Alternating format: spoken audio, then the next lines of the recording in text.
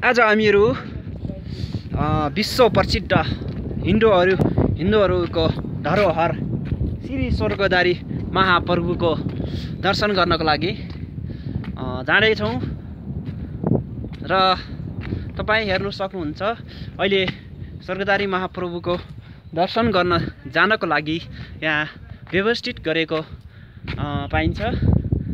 पहिलेतिर सिधा सिधा बाटो थियो भने हाल चाहिँ यहाँ सिडीहरूको व्यवस्था गरेर राम्रो व्यवस्था भएको छ। र जसमा हामी दुई साइड हेर्न सक्छौँ एक साइडतिर तल झर्ने बाटो र एक साइडबाट माथि प्रभुको दर्शन गर्नको लागि बाटो हेर्न सक्छौँ। र आजको दिनमा पानी परेर हामी हेर्न सक्छौँ कुहिरोले जताततै वन जङ्गल ढाकेको छ र भक्तजनहरू अगाडि बढिरहेका छन्। र यसको साथसाथै यहाँ डरो बटास पनि लागिरहेको छ। हेर्न सक्छौँ सिडीहरू छ। यसमा लगभग एक हजारभन्दा धेरै सिडी छ। हामी हेर्न सक्छौँ यहाँ प्रकृतिको मनोरम दृश्य पनि। अ, त्यस्तै गरी हामीहरू आफ्नो गन्तव्यतर्फ बढिरहेका छौँ। र यो अघि बढ्ने क्रम जारी रहँदा हामीलाई पनि आनन्द महसुस भएको छ। यहाँ वर्षेनी लाखौँ भक्तजनहरू देश विदेशबाट आउने गर्दछन्।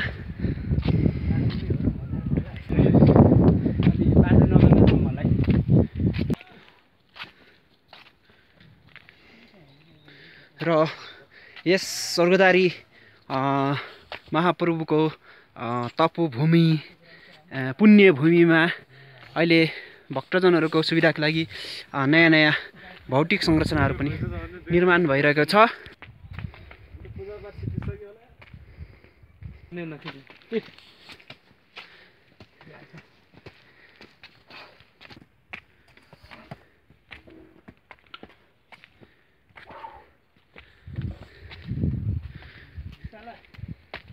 गुराँस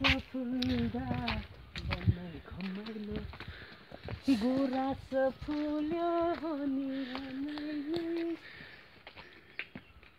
घरिघरि पानी पर्ने र वर्षा चल्ने तथा कुहिरोले गर्दा हामी वरपरको पुरै दृश्यहरू ढाकिएको देख्न सक्छौँ र यहाँ हामीहरू मानौँ कि हामीहरू स्वर्गमाथि छौँ जस्तो हामीलाई महसुस भइरहेको छ। लाग्छ यसो हेर्दाखेरि यो बाटो स्वर्गमै पुग्छ।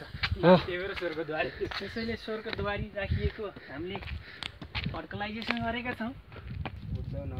हामी हेर्न सक्छौँ सुन्दर चल्ला यहाँनिर खेलिरहेको छ र हामीदेखि पनि भाग्य रहेको छैन। र चरालाई जहाँसम्म भोक लाएर अ, केही खान खोजिरहेको छ। आज बेटा। यस स्वर्गदारी तपोभूमिमा हामीहरू काफल अन्य लालीगुराँस अ, अन्य खर्सु जस्ता घाँसहरू हेर्न सक्छौँ र यहाँ देख्न सक्छौँ त्यहाँनिर प्रतीक्षालय यात्रु बिसौनी पनि राखिएको छ।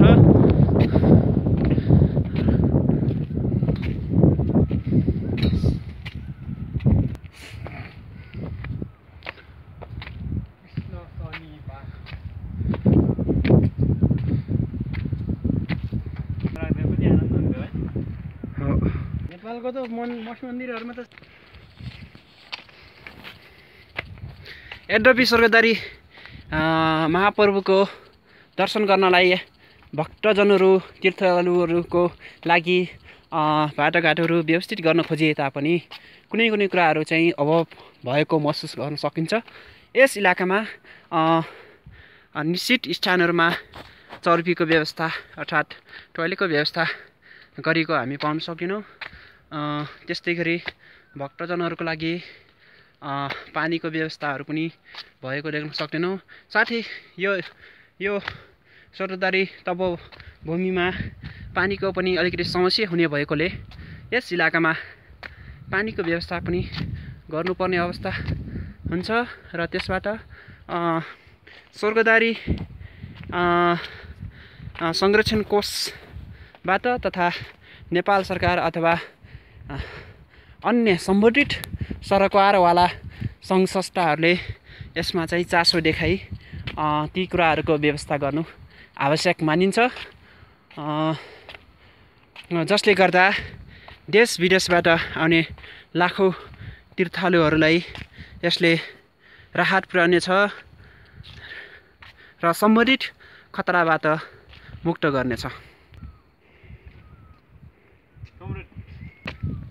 वर्षेनी यस इलाकामा लाखौँ हिन्दू धर्मावलम्बीहरू आउने गर्दछन् जस्तै नेपालकै अधिराज्यभरिबाट सर्वदारी महाप्रभुको दर्शनको लागि मानिस र भक्तजनहरू तीर्थालुहरू आउने गर्दछन् भने भारतबाट पनि सर्वदारी महाप्रभुको दर्शनको लागि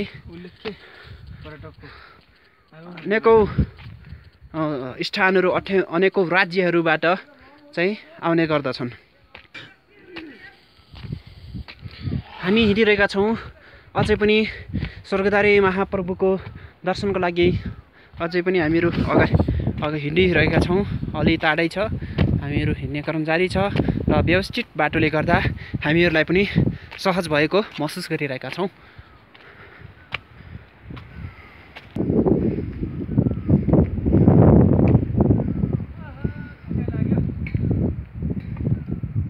हुन्छ यहाँ कुहिरोले गर्दा मनोरम दृश्यहरू पनि भएका छन्।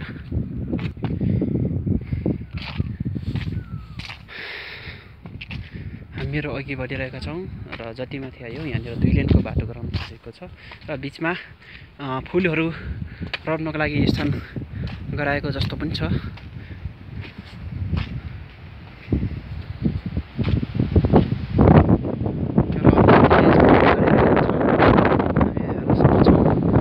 रुखहरू हल्लिरहेका छन् र कुहिरो पनि गतिमा चलिरहेको छ।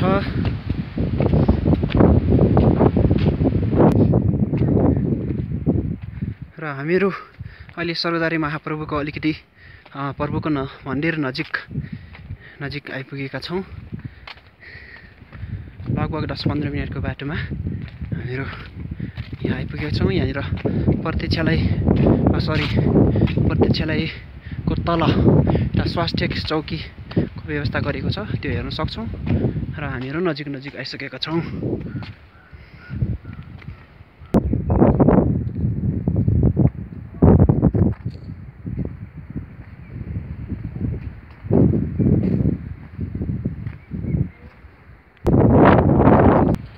स्वर्गदारी महाप्रभुको मन्दिर जाने बाटो हामी अँड्यारो अँड्यारो हेर्न सक्छौँ।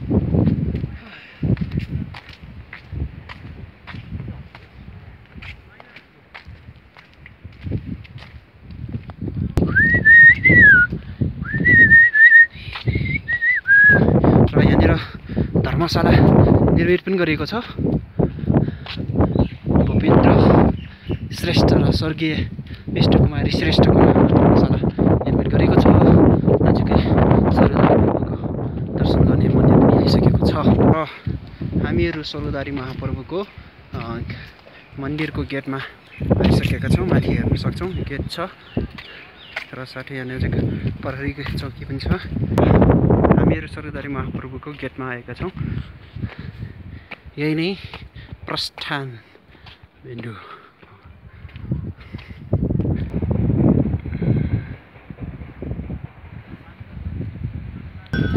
हामीहरू स्वर्गदारी? मन्दिरभित्र प्रवेश गरेका छौँ।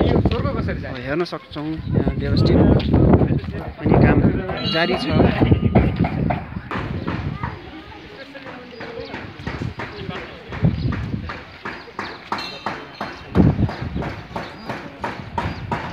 स्वर्गदारी महाप्रभुको बिचमा रहेको एउटा ताल जुन मानव निर्मित हो। र यसमा चाहिँ पानीको जोखो गर्ने चलन रहेको छ।